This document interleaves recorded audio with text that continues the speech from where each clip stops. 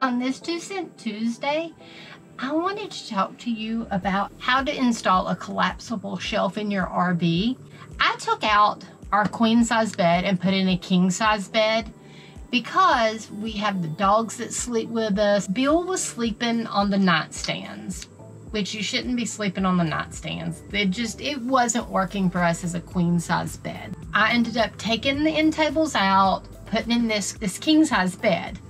I added the shelves above the bed thinking that he could stick his coffee there and it works. I take coffee to Bill every morning in bed and he was asleep and I was having to lean over the top of him and try to get the coffee on the shelf. So for that, that shelf was not working.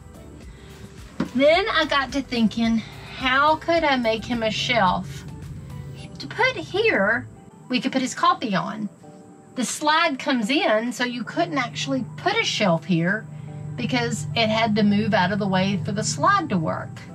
That's what made me start thinking about these collapsible shelf brackets because we're going to end up putting the collapsible shelf brackets. I want to make sure that I'm hitting on the studs and so there it makes you feel real good doesn't it that how that's there is a stud here, and then there is another stud right here. So I want to make sure that I hit on the studs because I want this to be in the studs so that it holds when I screw it in.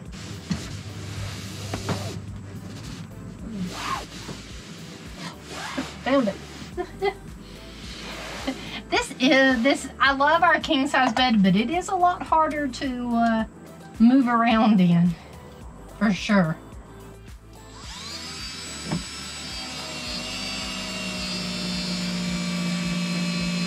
Hit that stud, which I'm glad. All right, and then let me get this one. Go grab a level.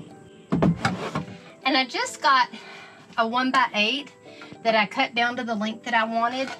And then I just took a sander and kind of beveled all the edges so that it wasn't rough. And I had to just go get me a level. I can make sure my shelf is level.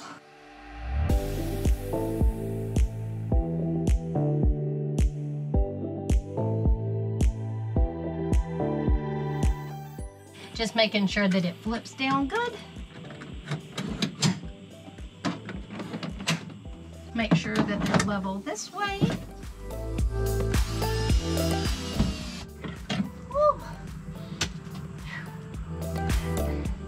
That was hard.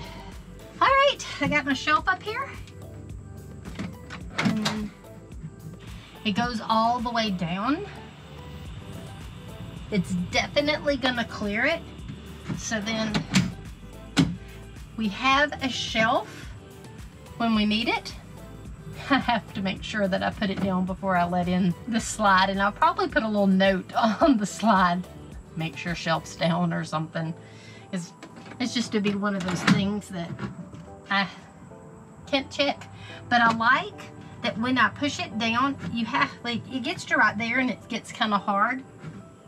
And then you push it and that'll keep it from popping up. Because I was worried about it, like, popping and beating up against this going down the road. But looks like that will not happen. Perfect. This shelf will work exactly what I need I really think that this shelf is gonna work great. And I had saw on one of the YouTube groups that somebody was asking about where they could put their CPAP machine.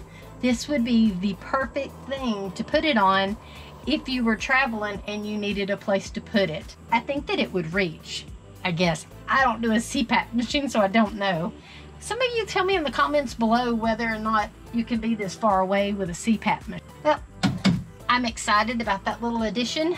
That worked. The thing with RVing is you may try something and it doesn't work, but don't give up. Try something different. I thought that shelf would work and it did not. So then I had to think of something else to do like this shelf. This is perfect that it flips down and gets out of the way so that when I'm making the bed and stuff, it will be not in my way because I have to say, making a king size bed is a lot harder than making a queen size bed in here, but it is so worth the five minutes of pain trying to make it up for the eight hours of good sleep at night. I want one on my side now. There's just no place to put one. Mm. If you like how the bedroom looks, go check out our RV series on remodeling our bedroom. Till next time, like and subscribe.